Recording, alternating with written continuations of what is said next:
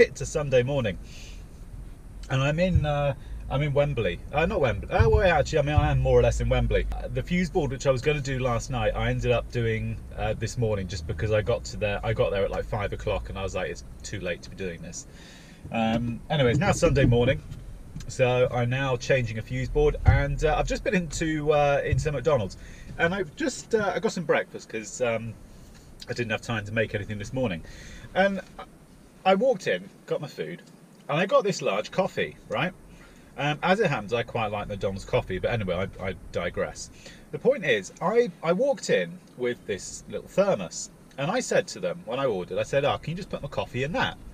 Um, because I'm not a, I really I'm starting to get this I don't like disposable cups because they're just they are so wasteful you know? Um, so I just said can you put it in this? Uh, no I can't do that I'm afraid.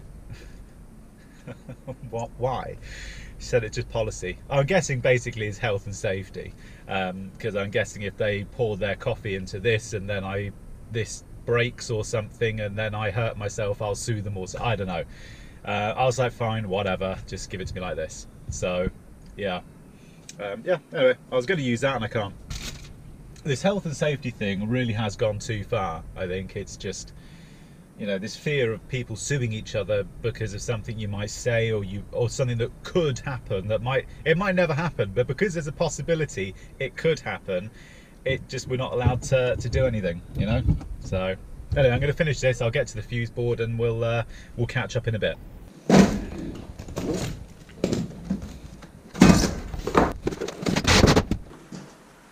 Now that I've managed to find a GoPro battery with a little more than 10 minutes charge in it, I've got like half a dozen in the van, and uh, they've all got literally they're flat.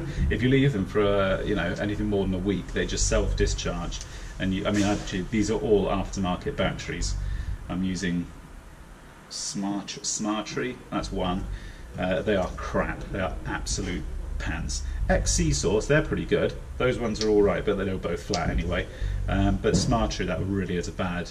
Um, you charge it up and you put it in the GoPro, and literally they, they discharge so quick you can actually see the digits counting down from 100, and you can just watch it, and it'll stop at about sort of 75%. And yeah, they're really no good. This thing of sort of aftermarket batteries is it's a, it's a real fallacy.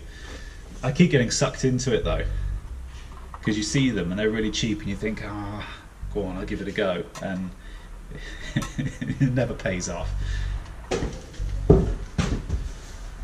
Uh, you see, the customer here was watching the channel and saw that I recommended this from Toolstation. This triple, it's so good. It's brilliant. I love it. It's uh, so it's nice to see people are actually sort of listening to what I'm saying. You shouldn't be encouraging it. Blah, blah, blah. Yeah, right. And with the smoke alarms here, I'm just uh, I'm doing it the same way I did it last time, where I'm just tapping it. I run it off the same breaker as the lighting circuit, the local lighting circuit. Um, that was a really controversial uh, topic. I was surprised how controversial that was. Um, to me, I thought it just made it just made good sense to do it, but um, it was a really sort of hot topic amongst some of you that. Uh, some of you were saying that it's it's good practice and you should always do it, and you know no exceptions. Um, for anybody who's just tuned in, I'm just talking about um, uh, running uh, interlinked smoke alarms off a local lighting circuit, or whether you should use it on a dedicated breaker.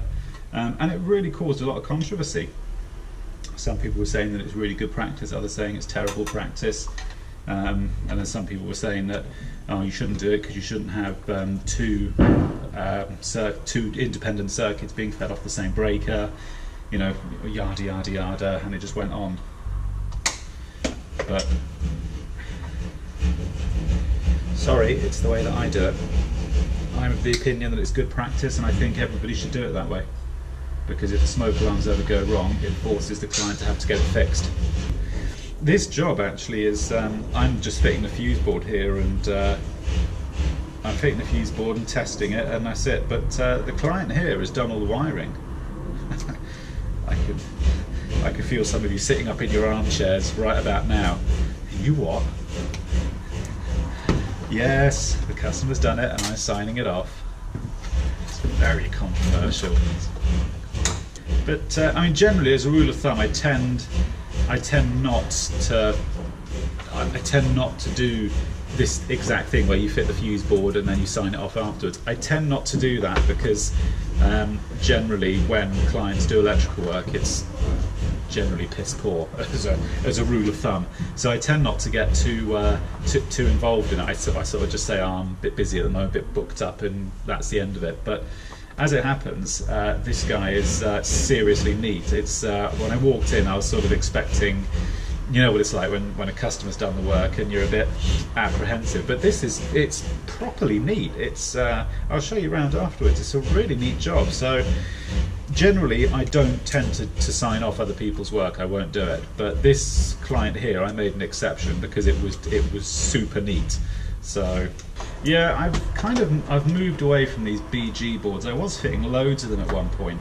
Um, I've just got to the point that just that last one you saw in a video the other day. Ah, that was the final straw. They're just. That's only through you guys, just saying, you know, branch out and try, you know, different brands and stuff. This test meter is dying slowly. I need to get a new one.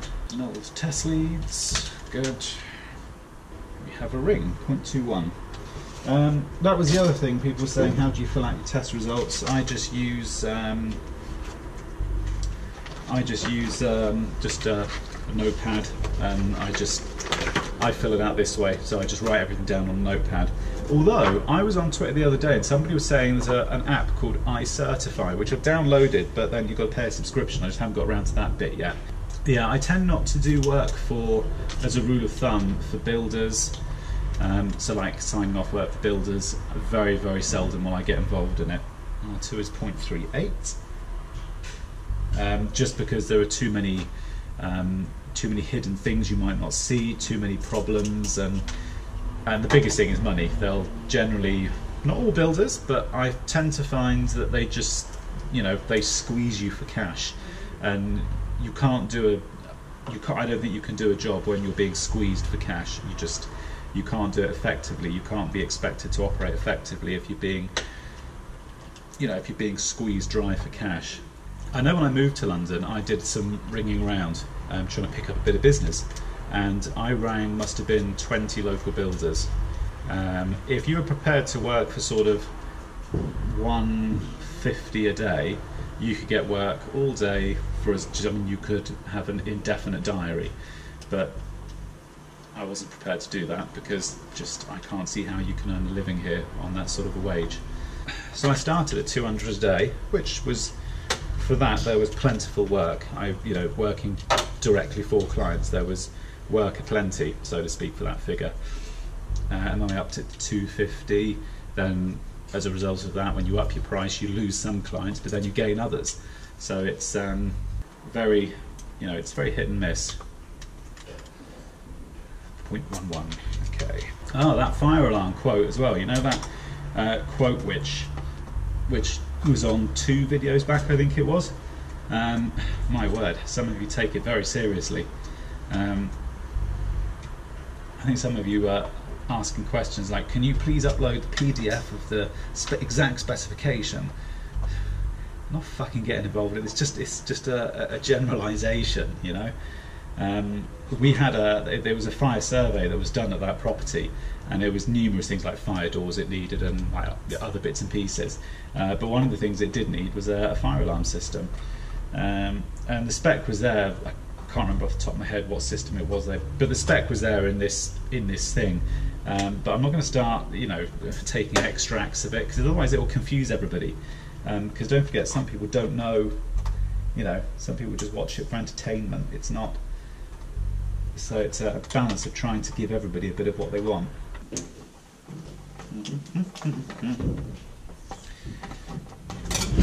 Oh, you shouldn't strip twin an earth like that.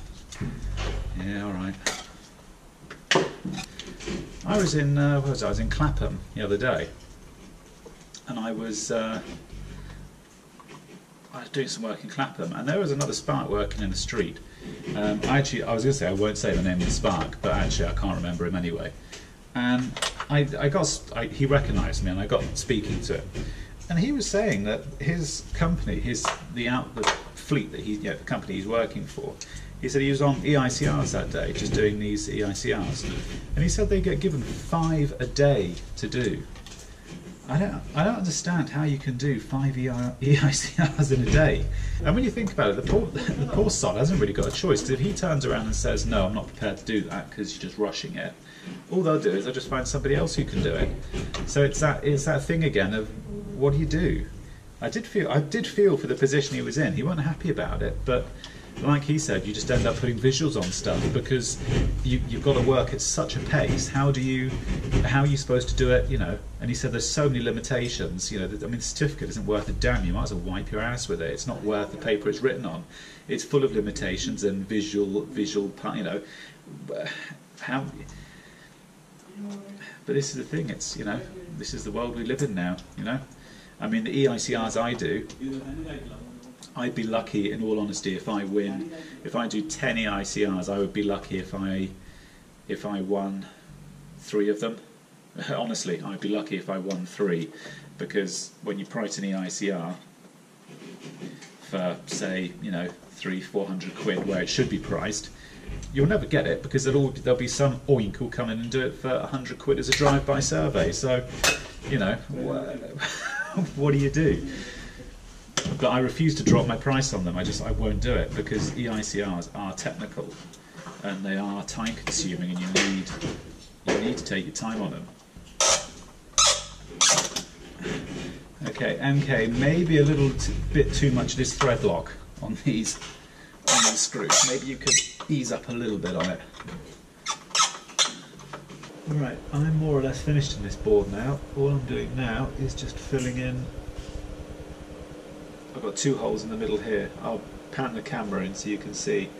So that's the inside of the panel there, and actually it's those two there in the middle that I've just filled in. There you go. You can you can just see them now. Um, so you haven't got to go nuts with the stuff, but it's just uh, just a way of filling, just a way of, just to give it the fire integrity which it had to start with. I'll show you around. You can see what the customer's done. Because like I said, I've done a surprisingly neat job. That's the only reason I took it on because I said, I don't normally take on customer work, you know, work the customers have done themselves. I generally don't do it. Uh, but I took this one on because I was pleasantly surprised. But I'll take you upstairs now and I'll show you. All right, everybody. Um, I'm not a million miles off here. I'm almost done. I'm just going through doing one of. I'm just doing a bit of final testing and stuff. Um, and uh, I'll, I'll, show you onto the floor actually what they've done. I mean, in fact, I'll show you this first. Um, these I mean, they've done all this. I, the guy here, he's, he's done all this himself, and uh, to be fair, it's it's a very neat job. It's uh, you know they've used 35 mil boxes. We've got MK socket fronts, and it's very nicely done. Um, and it's like this yeah, all over the house. So it's very neatly done. It's a nice uh, it's a nice job. If the floor, I would I would probably have questioned it a bit more if the floor was down where you can't see any of the cabling. But here the floor is all open, so you've got full access to see everything that you want to see. So um, in fact, there's a little bit here I'll show you. You know, so it's very neatly done. The holes are halfway in the joists. It's all neatly bunched together. You know, it just, it just works. It's a nice setup. So personally, although I don't do this sort of thing every day, I don't mind it on this occasion. So, because um, this is a controversial thing, some people aren't comfortable doing it. Um, yeah, anyway, one thing I wanted to talk about was the downlights that they fitted here. Um, because I, when I saw them initially, I questioned whether they were fire-rated downlights, and I've got the box here. Now these lights, they've just picked them up, and these are, I think from memory, he said these were 20 quid a box, so you get four in a box, okay? But they are fire-rated downlights. But I'm, I'm struggling, I'm a little bit perplexed, because I can't see what, where the fire rating on them is. Um, in fact, I've got a light here, I'll show you. Now this is actually one of them, this is one of the ones that um, that has just come out of this box. But as far as I can tell, that basically looks like just a normal downlight. I can't see where the fire rating part of that is. I, I can't see it. It doesn't strike me as being fire rated. That's basically just, that's it. That's all that comes with it. But apparently what they're saying is that this glass is fire rated because it's, it's, a piece of glass there. And apparently that is uh, that's enough to give it a fire rating approval. But it's 30, 60 and 90 minute fire rating and then you just put an LED lamp of your choice in there. I mean, it does say on the box there LED only, max 10 watt, but just because it says LED, that doesn't mean someone's going to go, you know, I wouldn't have thought you could take that for gospel because somebody could just go behind and put a halogen in. So I don't. I don't know. Leave your comments below on what you think on that because I'm I'm a bit perplexed on how that's acceptable. I don't know. Leave your thoughts below because that apparently is a fire rated downlight. But that's the in fact that's the uh, that's the connector there, which they've terminated. They've done a very neat job. Um, but this is literally this is it. This is the and that's what just bolts into the that's just what bolts into the light fitting. So I'm I, I don't know. I, I'm not sure what to make of it. I don't know. Just leave your comments below on what you think of it because I've never ever seen a fire rated downlight which hasn't got a fire a fireproof can above the ceiling. I don't I don't see how that works, but what do I know?